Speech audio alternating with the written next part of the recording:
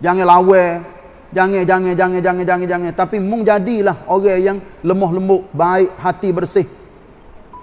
Hiduplah berakhlak mulia sebagai hamba Allah di atas muka bumi. Maka segala yang mereka usahakan itu tidak dapat menyelamatkan mereka dari azab Allah.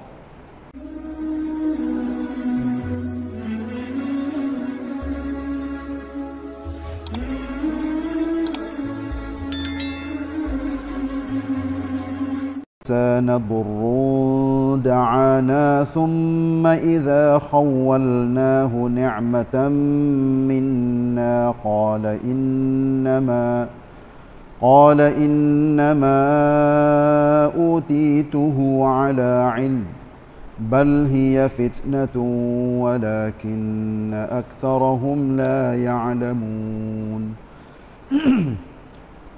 قد قالها الذين من قبلهم فما أغنى عنهم ما كانوا يكسبون فأصابهم سيئات ما كسبوا والذين ظلموا من هؤلاء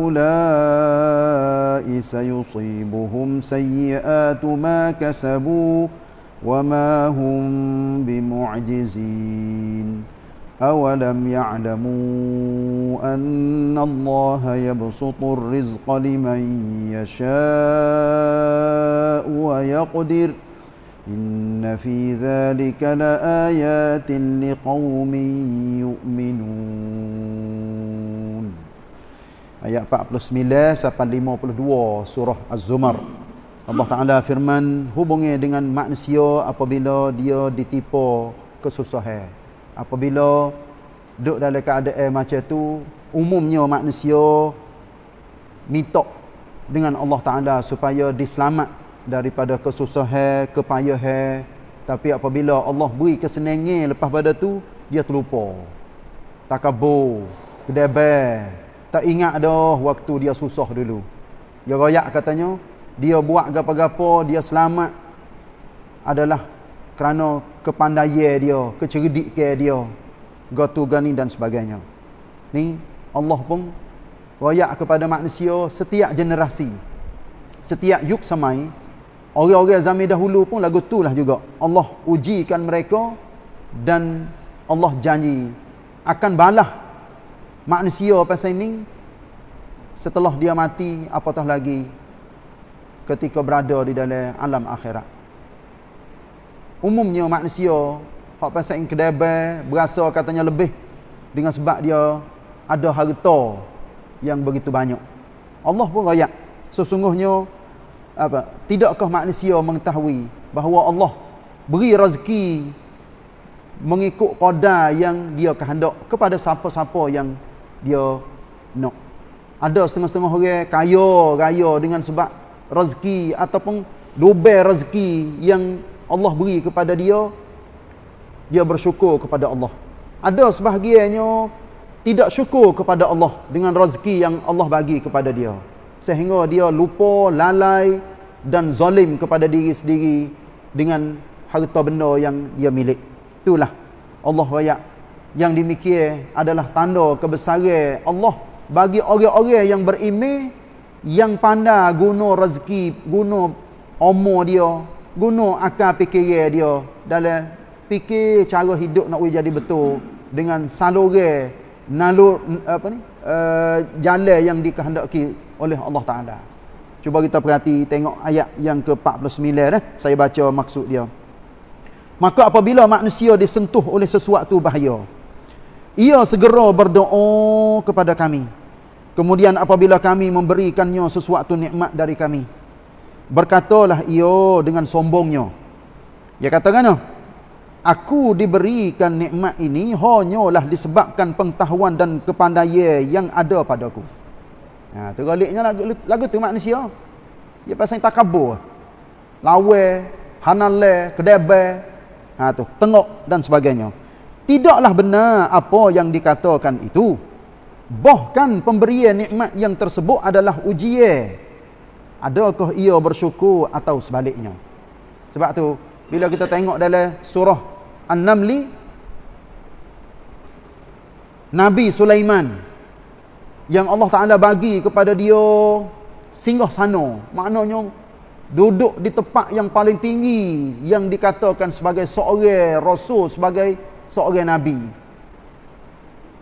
Ya ya hadza min fadli rabbi liyabluwani aashkuru am akfur. Inilah kurnia eh daripada Tuhanku sebab dia nak uji aku adakah aku bersyukur ataupun aku berkufur. Ni Nabi Sulaiman dia sebut. Supaya juga dengan Raja Zulkarnain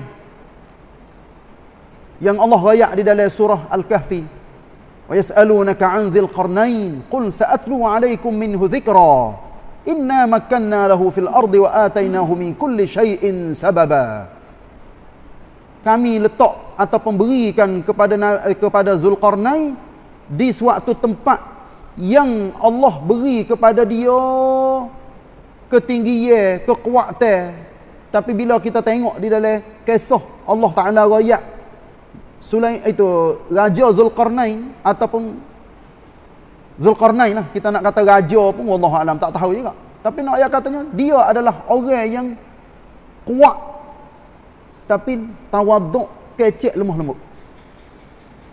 Itulah orang yang reti yang faham dan memang email dia tak gonye di segi cara hidup yang betul mengikut kehendak yang sebenar. Nah, akan tetapi kebanyakan mereka tidak mengetahui hakikat itu. Ha, tengok. Ni kita pun dia Allah Taala ayat katanya walakinna aktsarahum la ya'lamun. Kebanyakan manusia tak tahu yang sebenar. Maka kita walaupun golongan sikit ya pagi. Kita kena masuk di dalam golongan sikit yang tahu hakikat yang sebenar kebanyakan manusia iaitu kafir, munafik yang tak tahu hakikat yang sebenar Allah Taala bagi kepada mana-mana orang kesenengi gotu gani gotu gani maka kita jadi golongan sikit orang hak reti orang hak faham tu ya sikit sebab dalam Quran ni umumnya tu raya banyaknya manusia fasik banyaknya manusia kufur banyaknya manusia durhaka banyak banyak banyak banyak Maka ulama apabila dia hurai ayat Quran dia katanya mung jadilah orang sikit. Dah tu hai ayat katanya banyak manusia tak reti, manusia jahil. Manusia yang menjadi ahli neraka, sikit yang menjadi ahli syurga. Maka mung masuklah dalam golongan sikit sat ni.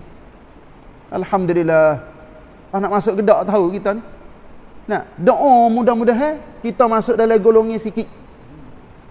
Yang bersyukur, yang kenang jasa Allah Ta'ala bagi kepada kita. Ayat 50. Sebenarnya orang-orang yang terdahulu dari mereka telah juga mengatakan yang demikian. Orang-orang zaman dulu bermula daripada kaum Nabi Nuh. Yang kecek pasal itu.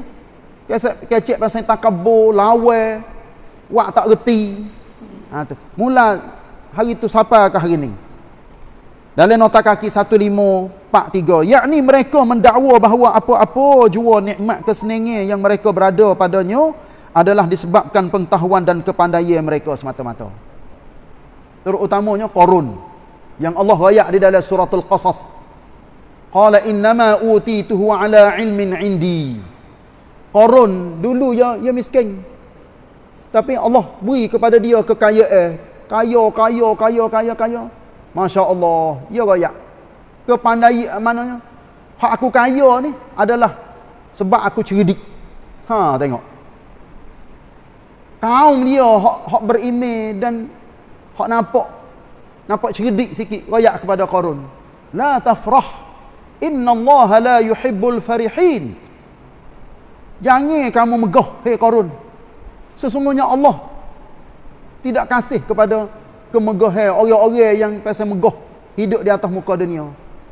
Itulah korun royak. Qala innama utituhu ala ilmin indi. Aku diberi semua ni adalah dengan sebab kepandaian aku. Kebijaksanaan aku.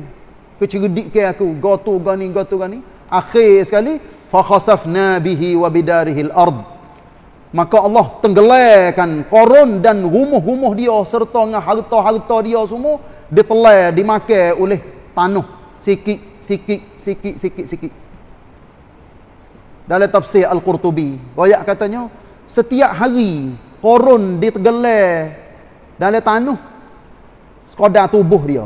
Tubuh dia tinggi setara mana maka tiap-tiap hari tu bombing telah setara tu kalau dia misal katanya ia tinggi ia tingginya 3 meter maka tiap-tiap hari bombing telah dia 3 meter 3 meter 3 meter ni dalam tafsir al-Qurtubi ayat sekali dengan harta dia.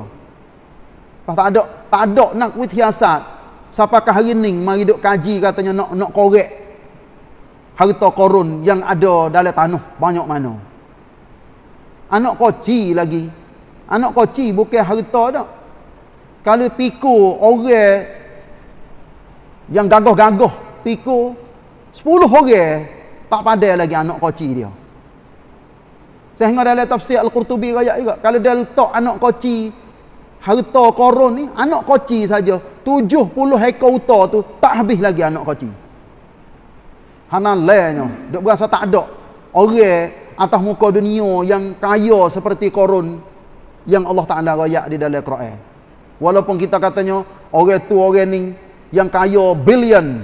Nah, atas dunia ni, duit banyak duduk dalam bank tu, situ, sini, situ, sini tapi tak sama dengan korun cerak tak sama dia Allah Ta'ala rayak di dalam Quran dia pasal benar benar-benar penting belaka seperti apa Fir'aun dia rasa tak ada orang hak lebih pada Fir'aun atas muka dunia. Walaupun nampak cerdik bijak gotu gani gani tak padan dengan Fir'aun. Ha, walaupun dunia pada zaman itu tak ada teknologi tak ada benda yang canggih tan samai tak ada. Tapi hanalenya manusia pada zaman itu nak fa'aktharu fihal fasad. Maka banyaknya mereka itu membuat kerusakan di atas muka bumi. Gotu goni gotu goni dan sebagainya orang lain pun supaya gitu juga ambil saka daripada orang-orang zaman dulu mari duduk buat lagi siapakah hari kiamat.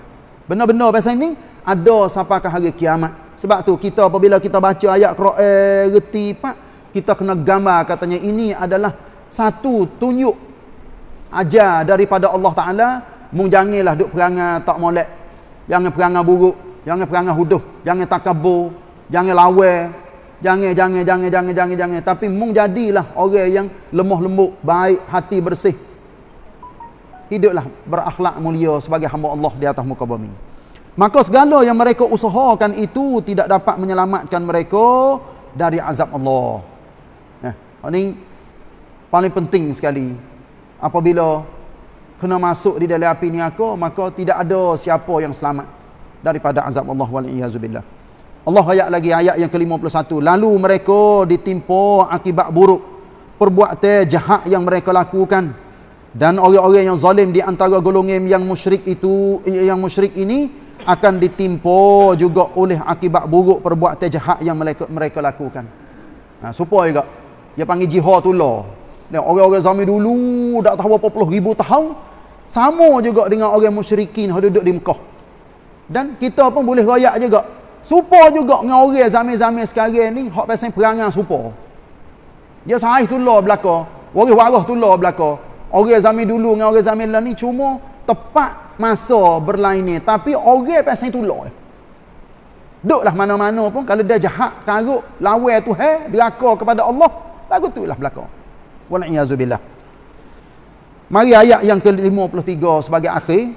Mengapa mereka mendakwa demikian? Ni cium hubung di antara ayat tu dengan ayat ni. Bapa duk dakwa, duk kecek, nampak tengok sangat weh. Lawe Allah Taala. Tidakkah mereka mengetahui bahawa sesungguhnya Allah memewahkan rezeki bagi sesiapa yang di, dikehendak yang dikehendaki? Allah nak wi manusia memikir rezeki daripada Allah cuma usaha daripada kita orang tu kerja orang ni kerja. Semua. Saya fikir back bodoh-bodoh saya lah. Semua ni. Nak jadi masuk mulut belakang. Nak jadi masuk mulut belakang. Dalam bahasa Arab dia panggil luqmatul aish. Luqmah artinya suap nak suap mulut belakang. Tak ada lebih daripada tu. Nak masuk dalam mulut, kisah, kisah, kisah, kisah, tahu dalam jamil. Hak ada di luar tubuh kita belum tentu lagi nak jadi hak kita. Walaupun kita rakyat katanya rumah kita, kereta kita, tanah kita, harta tu harta ni, gotu gani. Nabi ada rakyat di dalam satu hadis. Hak munduk katanya mali mali. Mali artinya hartaku, hartaku. Hak tu hakku, hak ni hakku. Tidakkah yang sebenar hak kamu makan maka dia akan kisah jadinya najis. Hak mu pakai pakaian Tekah mula-mula pakai tu baru. Tapi bila lama-lama dia buruk, buruk, buruk. Orang tak pakai dah buruk. Maka mu tahu. Kadang-kadang jadi. Kain buruk. Nah. Ha tu. Tu nak ayat katanya. Lagu tu lah. Tabiat manusia. Sampai ke tubuh dia sendiri pun. Hacur penuh. Apabila mati duduk dalam tanah. Maka kita marilah syukur kepada Allah. Banyak-banyak. Yang Allah Ta'ala beri rezeki kepada kita. Walaupun sikit, walaupun banyak. Alhamdulillah cukup banyak. Inilah tunjuk katanya kita adalah hambanya yang sebenar. Nah, saya baca sekali lagi. Mengapa mereka mendakwa demikian? Tidakkah mereka mengetahui bahawa sesungguhnya Allah memewahkan rezeki bagi sesiapa yang saya berasa nak utama dah situ so yang dikehendakinya. Boleh jadi terjemuh terjatuh dah yang kehendakinya bahasa bahasa kekok-kekok bahasa Melayu. Yang dikehendakinya dan ia juga yang menyempitkannya. Ha ni Tuhan tanya sini. Tuhan peluah dan Tuhan sepit rezeki. Semua tu mengikut kehendak dia belaka. Dalam tafsir Ibn Kathir pada awal-awal juzuknya pertama wa mimma razaqnahum yunfiqun. Tafsir Ibn Kathir dia hurai katanya setengah-setengah orang moleknya Allah Ta'ala jadi dia miskin kalau dia kaya boleh jadi dia diaka. Setengah-setengah orang Allah Taala wi kekayaan kepada dia molek. Dengan sebab apa? Kalaulah dia jadi orang miskin boleh jadi hidup dia akan berubah pergi ikut jalan tak molek. Ha ni mong nanya di yang Ibnu Katsir kaya. Sebab setengah-setengah orang dia kaya alhamdulillah dengan murah hati dengan dia buat kebajik ke pahala gotu buat kebaik ke banyak kepada orang takdir katanya dia klik jadi orang miskin. Maka bagaimana kau keadaan hidup dia? Boleh jadi dia jatuh jadi kufur kau jadi gapo? Sebab tu kita bila tengok macam-macam ni sebab hidup kita yang sebenar kita kena terima kasih kepada Allah. Allah beri sekadar ni Alhamdulillah. Kalau tanya hati siapa kata nak miskin? Tak ada seorang habuk. Nak kaya belaka nak comel belaka. Okey tak ada siapa nak duduk dalam keadaan tak molek, miskin, susah, payah. Semua nak comel belaka, nak kaya belaka. Tapi Allah Ta'ala kehendak macam ni, maka kita terima. Bukan tua ciwat, mikias. Wayak katanya, kaya tu mulia, miskin tu hina. Tak. Di sisi Allah Ta'ala, Inna akramakum indallahi atqakum. Sesungguhnya orang yang paling mulia di kalangan kamu di sisi Allah ialah orang yang paling takwa sekali. Orang yang paling takut kepada Allah, orang itulah orang yang paling mulia sekali. Akhir sekali ayat yang ke-52 di tengah-tengah, sesungguhnya yang demikian mengandungi keterangan-keterangan yang jelas bagi orang-orang yang percayakan ilmu dan kebijaksanaan Allah. Alhamdulillah. Nah, kita pun masuk di dalam golongan orang-orang beriman, orang yang tahu, orang yang yakin dengan Allah Subhanahu Wa Taala yang Allah bagi kepada siapa yang dia kehendaki. Nah, alhamdulillah. Lepas tu hari ni hari yang ke-9 bulan Zulhijjah. Nah, hari yang ke-9 bulan Zulhijjah. Kita sepatutnya kita berpuasa dah sebab orang para hujaj Baitullahil Haram hari ni semua pakat pergi ke pada Arafah. Kemarin pakat doyo-doyo pergi belaka di Mino maka hari ni kita akan boleh tengok. Dan lah ni tepat di, di, di, di negara Saudi baru nak pukul 2 malam baru ni. Nah, kita ada 20 minit lagi nak pukul ni. Lepas tu bila cerah di sana kita akan boleh tengok. Buka dalam dalam YouTube dalam apa kita akan boleh tengok. Sot-sot. Nah orang pakat berduyung-duyung pergi ke pada Arafah. Ha, tu. akan duduk di pada Arafah sehingga matahari jatuh. Lepas tu Nabi royak. Hari Arafah ni ma min yaumin akthar min an yu'tiqa Allah fihi 'abdan minan nar min yaumi Arafah. Wa innahu la yadnu 'azza wa jalla thumma yubahi bikumul malaikata fayaqul subhanahu wa ta'ala ma arada haula. Tidak ada mana-mana hari yang lebih banyak Allah Ta'ala nak memerdekakan hamba daripada api ni aku. Allah. Tu hai tanda siap-siap dah.